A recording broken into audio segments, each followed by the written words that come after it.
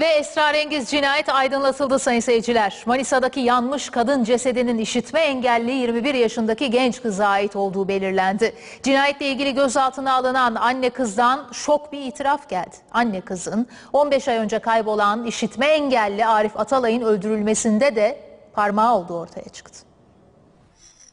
Polis Manisa'daki yanmış kadının cesedi üzerindeki sır perdesini araladı. Cesedinin 21 yaşındaki işitme engelli Emine Girginer'e ait olduğu belirlendi. Onu öldürdükten sonra yakan anne kız da işitme engelliydi. Üstelik bu anne kızın karıştığı ilk cinayette değildi. Tanıyorum. Tanıyınca şok oldum yani onların olduğuna. Katil zanlısı anne kızın oturduğu ev işte burası ve iddiaya göre kabus ilk olarak bu evde başladı. Genç kız eve gelmişti ve içeride öldürüldü. Daha sonra genç kızın cansız bedeni elektrikli bir bisikletle evden çıkarıldı ve birkaç kilometre ilerideki zeytinliğe götürüldü. Evde cinayetin işlenmesinin ardından iddiaya göre katil zanlısı işte bu yol üzerinden geldi ve genç kızın cansız bedenini işte bu barakaya soktu. Daha sonra barakanın içinde o bedeni ateşe verdi ve barakanın içi hala o korkunç anın izleriyle dolu. Manisa Emniyetini harekete geçiren olay 22 Şubat günü Akhisar'daki zeytinlikte yanmış bir kadın cesedinin bulunmasıyla başladı. Polis adeta samanlıkta iğne aradı. Çünkü %90'ı yanmış olan cesedin kimlik tespiti mümkün değildi. Kayıp başvuruları incelendi. 1300 koruma altındaki kadına tek tek telefon edildi. Seferihisar'da yaşayan Emine Girginer'den haber alınamadığı bilgisine ulaşıldı.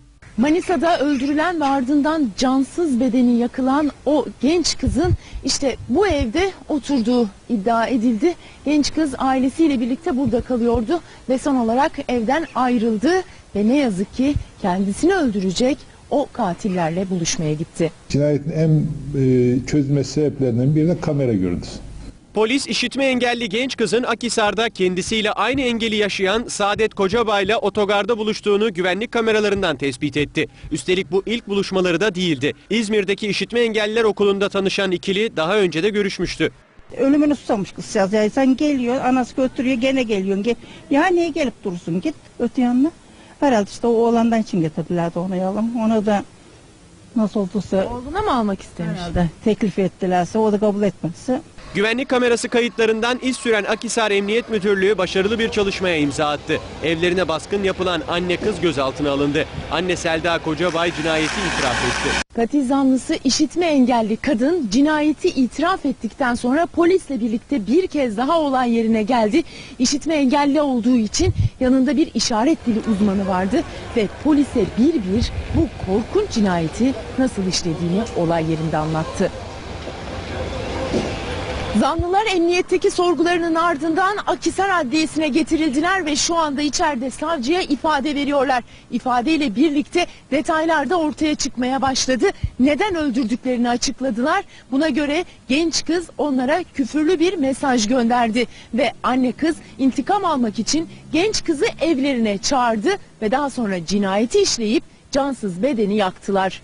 Polis bu ifadelerin üzerine anne kızı çapraz sorguya aldı. 2013 yılının Aralık ayında kaybolan işitme engelli Arif Atalay'ın kaybolmasıyla bir ilgilerinin olup olmadığını araştırdı. Sonuç şok etti. Katil zanlısı olan anne ifadesinin ardından buraya asayiş büro amirliğine getirildi. Üstelik ifadesinde ikinci bir cinayeti daha itiraf etti. Bundan yaklaşık bir yıl önce yine işitme engelli bir erkeği öldürdüklerini ve benzer bir yere gömdüklerini söyledi. Sorguda anne Selda Kocabay, Arif Atalay'ın hem kendisi hem de kızıyla gönül ilişkisi yaşadığını anlattı. Oğlu Selim Burak Kocabay'ın bu durumu öğrenmesi üzerine Atalay'ı boğarak öldürdüğünü, kızını da ona yardım ettiğini söyledi. Üstelik Arif Atalay'ın cesedinin yakıldığı yer yanmış kadın cesedine uzak bir nokta değildi. Kız ce- cesedine yakın 200 metre mesafeli başka bir zeytinin orada yakıldı ve bırakıldığını söylediler. Bunun üzerine polis burada, olay yeri inceleme burada ve arama çalışmaları yapılıyor.